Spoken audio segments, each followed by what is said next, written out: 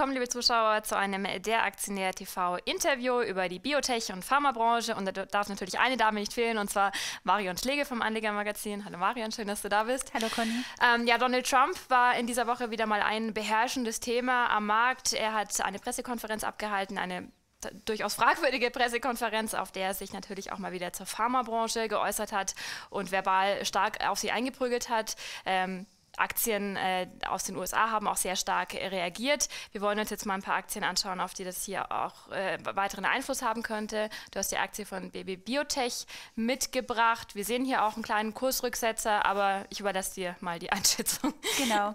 Äh, Donald Trump äh, hat angekündigt, mhm. dass er gegen den Medikamentenpreiswucher mhm. Äh, vorgehen möchte ich sag mal, das war ja eigentlich was, was ähm, Hillary Clinton im Wahlkampf ähm, gesagt hat und was die Branche eigentlich schon im Vorfeld ja. ja stark unter Druck gebracht hatte. Jetzt ist auch Trump auf mhm. der, das Ganze aufgesprungen ja, ich muss sagen, man muss letztendlich mal schauen, was dann am Ende dabei rauskommt. Bei den Reden und so weiter ist immer relativ viel und mhm. ja, man geht ein bisschen stärker voran. Was am Ende dabei dann äh, rauskommt, ist dann eine andere Frage. Ich denke nicht, dass es jetzt so einen starken Einschnitt geben wird. Aber du hast schon gesagt, es hat natürlich die US-Branche, Pharmabranche vor allen Dingen, aber auch Biotech-Werte äh, stark getroffen. Und BB Biotech ist ja im US-Sektor enorm stark äh, engagiert, ist eine Beteiligungsgesellschaft ähm, die im vorwiegenden US-Biotechnologieunternehmen investiert. Deswegen auch zuletzt der kleine Rücksetzer, den wir hier im, Star, ähm, im Chart sehen. Insgesamt denke ich aber, dass es ähm, ja gerade auch in der Biotech-Branche eben auf die Entwicklungen angeht und äh, ankommt, sage ich mal, und äh, das Ganze dann doch nicht so große Auswirkungen haben dürfte, auch für BB Biotech. Was machen jetzt investierte Anleger oder Anleger, die sich für die Aktie interessieren? Wie gehen Sie damit um? Also BB Biotech sehe ich weiterhin als klares mhm. äh, Basisinvestment. Da würde ich in jedem Fall investiert bleiben, eigentlich auch auf dem aktuellen Niveau durchaus noch äh, zukaufen. Ähm, BB Biotech schafft es eigentlich immer wieder, äh, die Branche out, out zu performen, den Nasdaq Biotech Index sich da besser zu entwickeln. Und wie wir zuletzt gesehen haben, es gab einige positive News aus dem Portfolio von BB Biotech und da sieht man, dass sie einfach ein sehr gutes Händchen haben, immer so auf die richtigen Pferde zu setzen.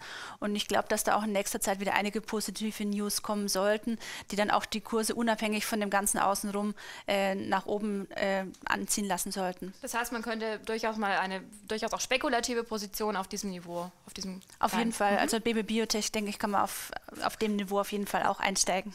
Da ist gerade mein nächstes Stichwort zu Boden gesegelt, aber ich äh, weiß es, dass wir als nächstes auf die Aktie von Actelion blicken. Auch hier haben wir eine lange Seitwärtsbewegung, dann den Anstieg, den viele Pharmawerte dann ähm, in Reaktion auf die Wahl gezeigt haben und jetzt äh, die Aktie kennt eigentlich auch nur die Richtung nach oben gerade, oder?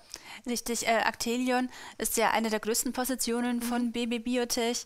Ähm, seit, ja, seit November eigentlich äh, geht es jetzt massiv nach oben. Der Grund sind Übernahmegerüchte mhm. bei, der, bei der Aktie. Ja, da gab es zuletzt eigentlich einiges. Hier ging es auch mal wieder nach unten. Das ist alles mit den mhm. Übernahmegerüchten. Sanofi war mal im Gespräch gewesen. Die sind jetzt raus aus dem Ganzen. Jetzt äh, heißt es, dass mit Johnson Johnson exklusive Gespräche geführt werden. Es gibt wohl auch schon äh, einen Kurs, also zumindest für einen Teil von Actelion, zu dem man äh, das Ganze übernehmen möchte. Veröffentlicht wurde noch nichts. Ähm, gemunkelt wird aber, dass es wohl um die 260 Dollar sein könnte. Das wäre, wenn man es umrechnet auf Euro, so ein Bereich gut von 240 Euro, also noch ein bisschen Luft bis in den Bereich in etwa, wenn es denn so kommen sollte.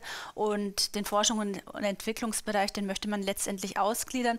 Da laufen aber momentan noch die Verhandlungen, ähm, ja, wie viel das Ganze dann letztendlich wert sein wird.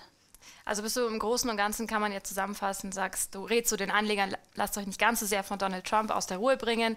Die Unternehmen sind fundamental gut mhm. aufgestellt und man sollte also keine Panik hier bekommen. Ja, genau. Ganz herzlichen Dank, Marion, für die guten, vielen guten Hinweise. Die Zuschauer, ich denke, da ist wahrscheinlich für jeden äh, was dabei, der sich für die Pharmabranche interessiert. Ansonsten schauen Sie sich auch die anderen Interviews mit Marion Schlegel und natürlich ihre Artikel auf der Homepage von der Aktionär und natürlich das Heft an. Ansonsten sehen wir uns hier dann wieder bei einem neuen Interview.